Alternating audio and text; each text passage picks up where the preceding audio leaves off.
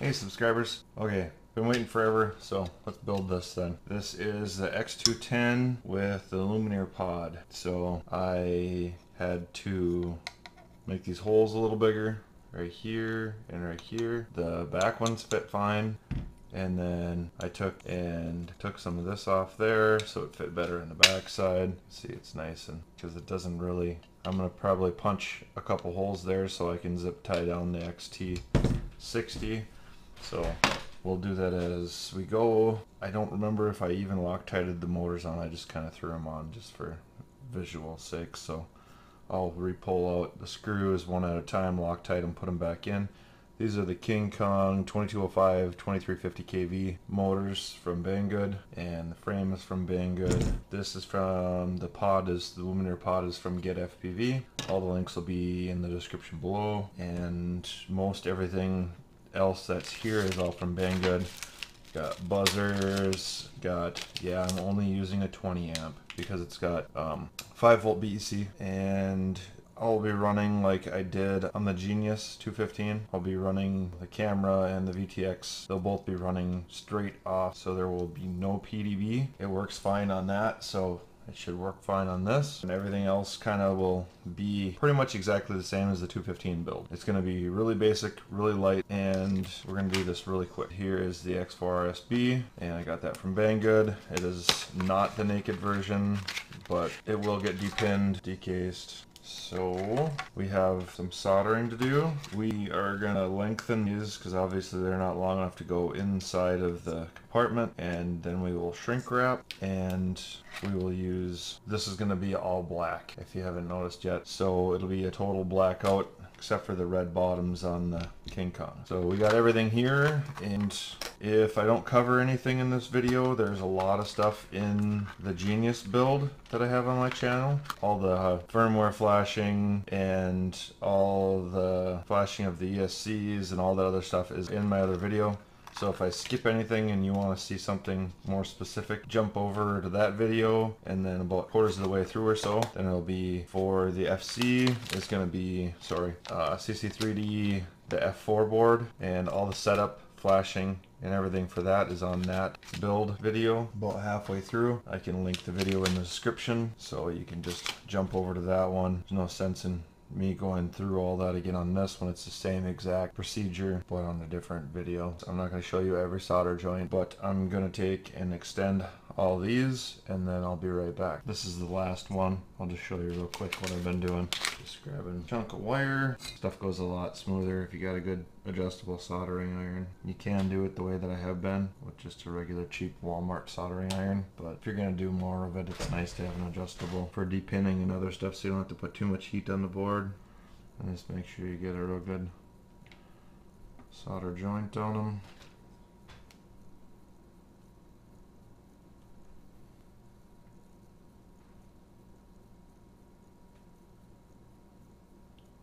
Then when you're soldering these on, when you pull away, you leave a little sharp part.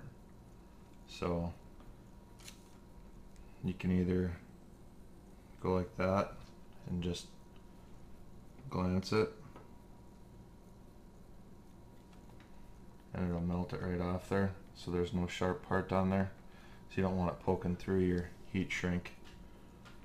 I haven't had it happen but I could see it happening and see it being an issue and shorting out on the carbon fiber.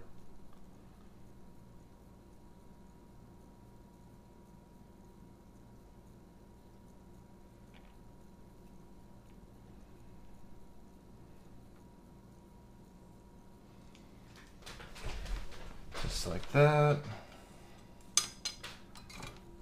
And I don't have any heat shrink cut. I'm just using what I got. I don't have any more black left because I used that up right away. So I got blue. It'll be hidden inside of the sheathing, so it's not that big of a color. I just don't want to use like yellow or something that you could see through. So then I just put on the heat shrink.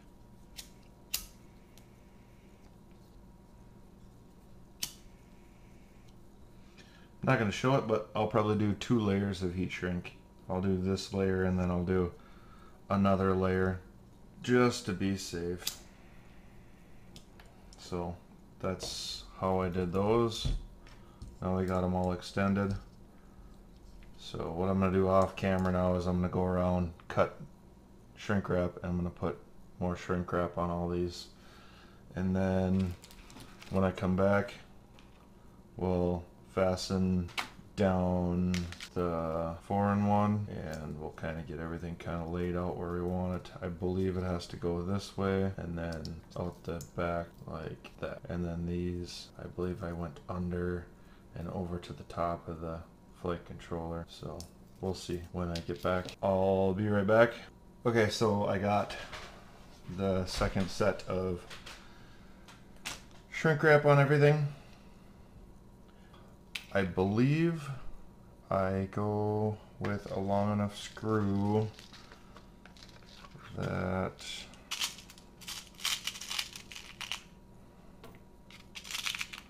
it's all stainless hardware that came from Banggood.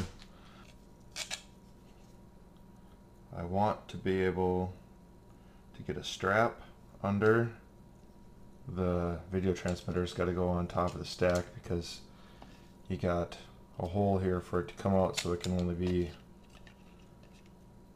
so tall. And it looks like it'll still work fine if I do it that height. So we'll just try to run it at that and see what happens. And I don't I'll get a measurement on all this stuff after we find out if it's all gonna fit properly or not. And then after that, I think I'm gonna go one steel or one stainless steel nut. And then on top of that, I'll go with a nylon on each one. And then I'll do that, set this on top, and I'll be right back. As long as this plug fits, we can do it that way.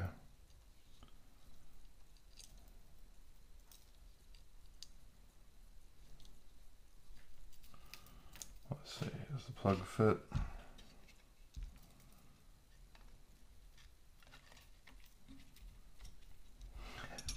Wow, that's pretty tight in there. You can see the plug, the wires are right against the side there. And it's not going to leave hardly any room to be able to plug in your flight controller. Man, that's going to be super tight. But it'll go. Okay, so I jumped a little bit further ahead. I got all the fire loom sheathing on and I conformal coated the lighting is really bad right now forgive me sorry the conformal coated the uh, four in one and it's all bolted back down. I conformal coated. Be really careful so you don't get any on the sensor when you're doing the camera. So the 1177, I got that all coated and I just got to put that back together. I am gonna solder everything onto my flight controller so that I can unplug and conformal coat that, so that'll be all ready too. And then the only thing we'll have to conformal coat is the receiver, the X4R SB. So I'll do that, this, and then when I come back, I'll be ready to screw all that down. So, like I said, this is just going to be a real quick once over on the process. So, I'm not going to show every little solder joint so when I come back, I'll be ready to screw this all down. So I got most everything done. I wouldn't suggest doing this for a beginner. So this is gonna go on top of here and then it's gonna stick through this hole and get zip tied down. I have it like this just because I'm gonna power up, make sure everything is good. That is the tightest stack ever. I flipped the flight controller upside down and I rotated it 90 degrees. So there's like no room on there anywhere. I gotta put the two screws back through because I had to pull the make sure you put your XT60 on first because otherwise you gotta fish it out of there and solder it on it's a lot harder so get your measurement to where it comes about like that and then I'm going to drill two holes one on each side of it and then zip tie it down. So that's where it's at so I'm going to power it up and make sure everything's good.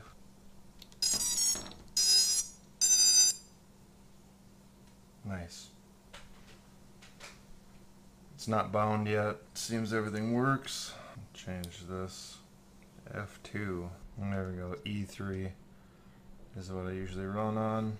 Make sure there's video. And then I'm gonna call it. Ta-da. So we got video. Everything's good.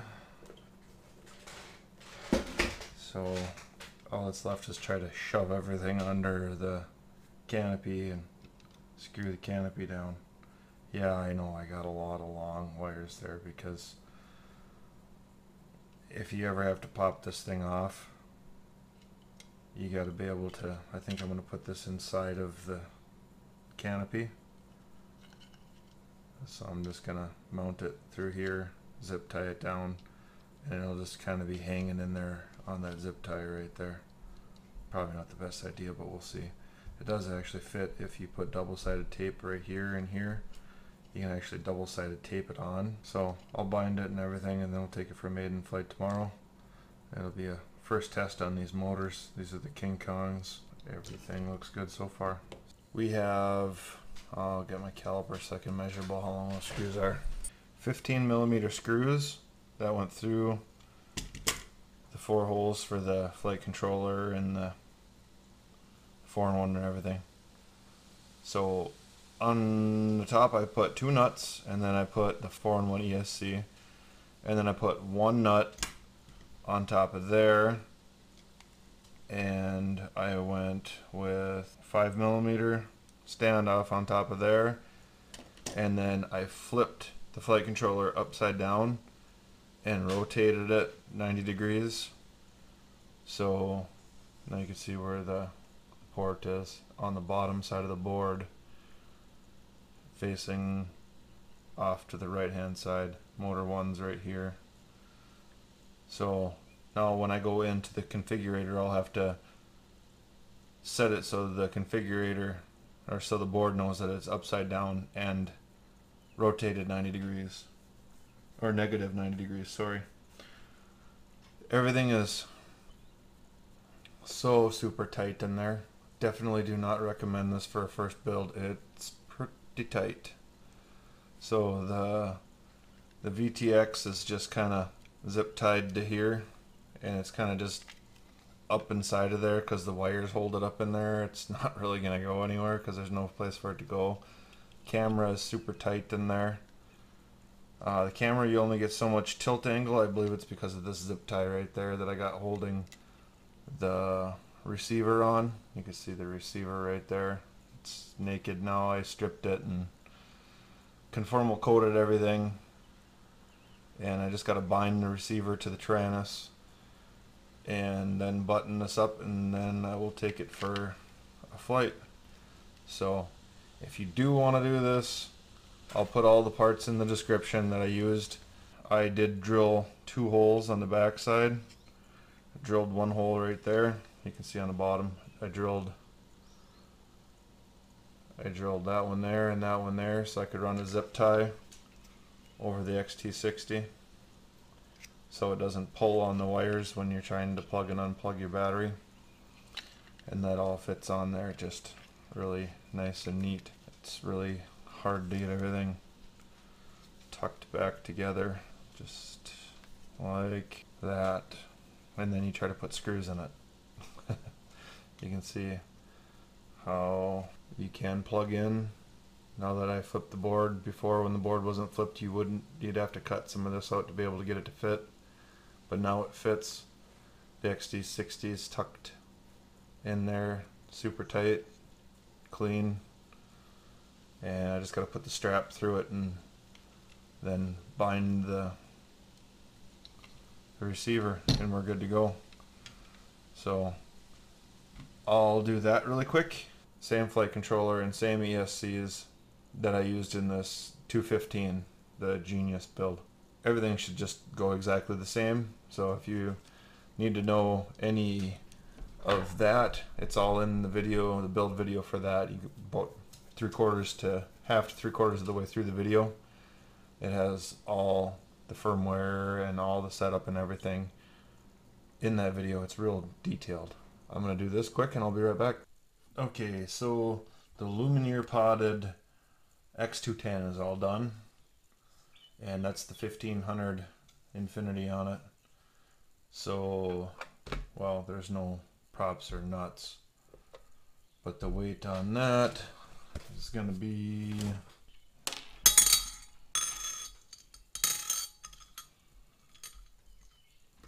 Okay. So absolutely everything 502. All she wrote. Time for a test flight. I'll take it for a little rip here. I haven't flown at FPV yet. I'm just adjusting my goggles. I just got them out of the box. So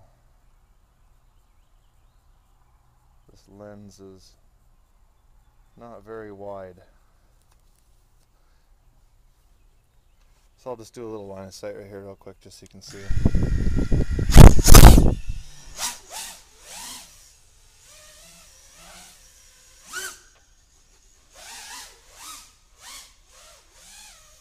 really quiet with these dial four blades on it.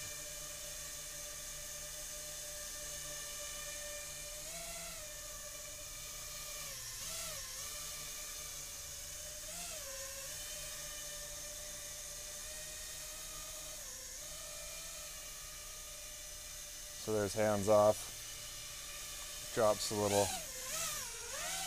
I haven't fixed my transmitter yet. I still got the notches in there, so it's hard to get it perfect hover because it wants to grab on the notches. It's like halfway between a notch where it's going to hover perfectly, so. But it feels like super, super dialed in.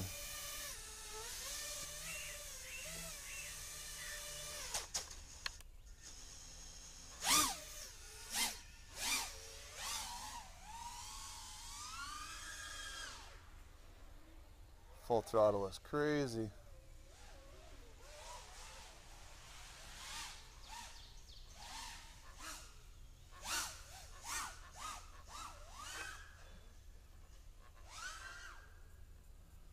Tune actually feels really good.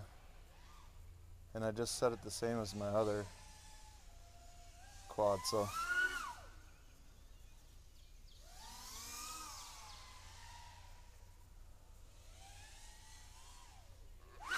Ooh. Almost smoked that tree.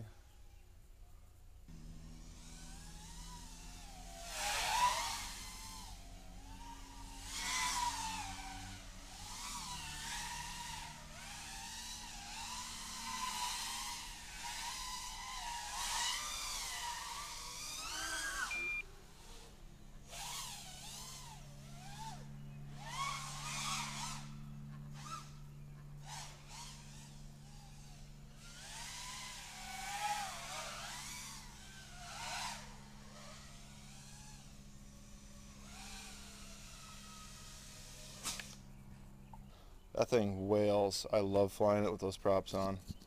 The dial props, the 544s. Those things are pretty awesome. First time trying them.